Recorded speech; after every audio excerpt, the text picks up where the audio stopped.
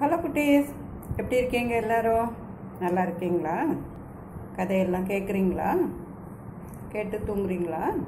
இந்த பழக்கத்துக்கு வந்திருக்கீங்களா இப்போது ஓகே இன்றைக்கி ஒரு கதை பார்ப்போமா?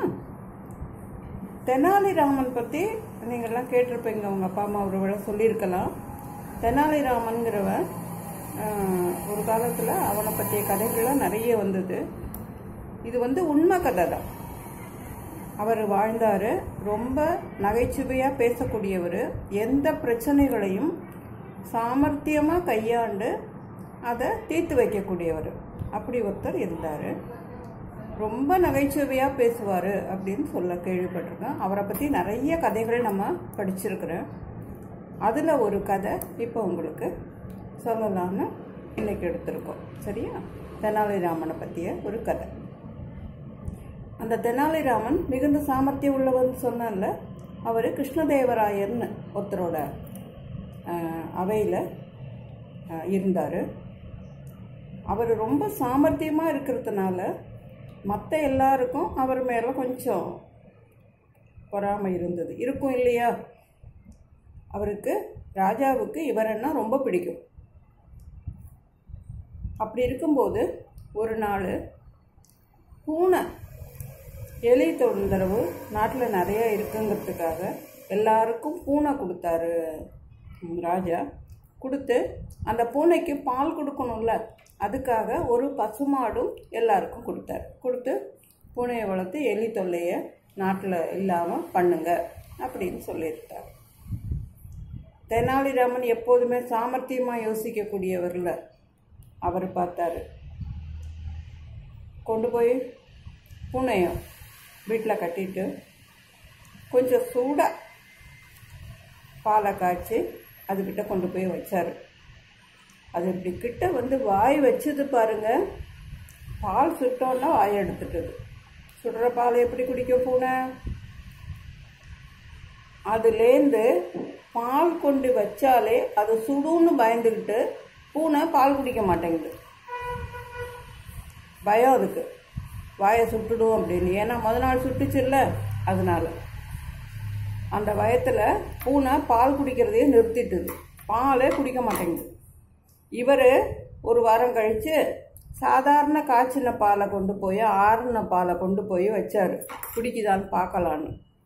அது அப்போவும் கிட்ட பால் கிட்டக்கே போ வரமாட்டேங்குது. பயந்துக்கிட்டு அது பால் சுடும். அன்னைக்கு வாயை சுட்டுச்சு இல்லை அது மாதிரி சுட்டுடும்னு பயந்துக்கிட்டு அது பால் பக்கமே திரும்பி பார்க்க மாட்டேங்குது. அதனால இவர் என்ன பண்ணினார்? அந்த பாலை கறந்து தன்னோட குழந்தைகள் தன்னோட குடும்பத்துக்கு உபயோகிச்சுக்கிட்டாரு. அந்த பூனை என்ன பண்ணுச்சு? அதுக்கு பசிக்கும்ல. எலிகளை பிடிக்க ஆரம்பிச்சது.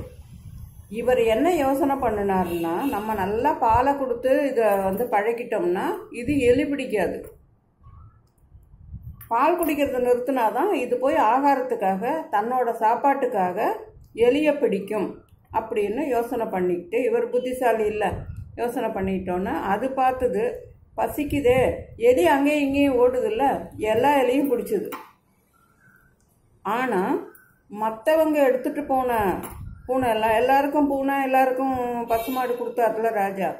அது வந்து அழகாக பாலை குடிச்சு குடிச்சிட்டு எல்லா பூனையும் ஜம்முன்னு படுத்து கிடக்கும் எலி பிடிக்க மாட்டேங்குது.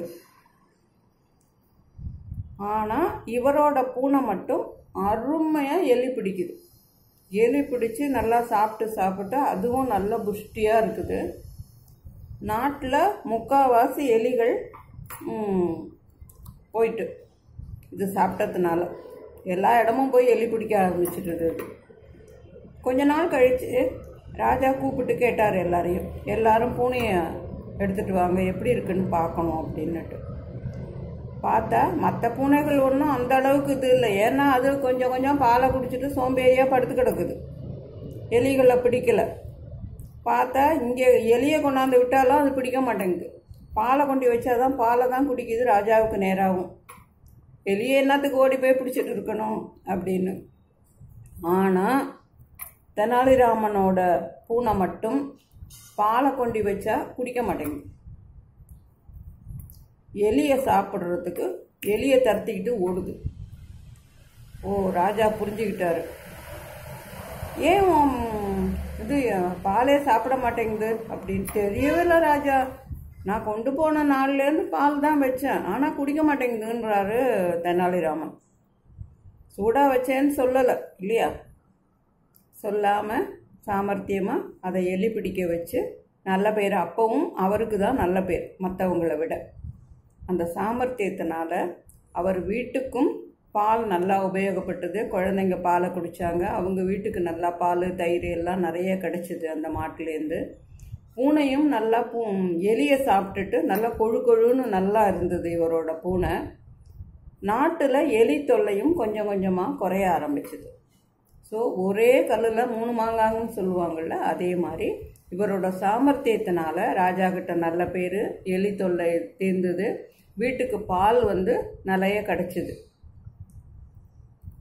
மற்ற எல்லாருக்கும் இவர் மேலே எப்பவும் போல் கொஞ்சம் பொறாமை. இவன் மட்டும் எப்படியாவது சமாளித்து எல்லாத்தையும் முன்னாடி வந்துடுறாரு. ராஜா கிட்ட நம்மளால் நல்ல பேர் வாங்க முடியல.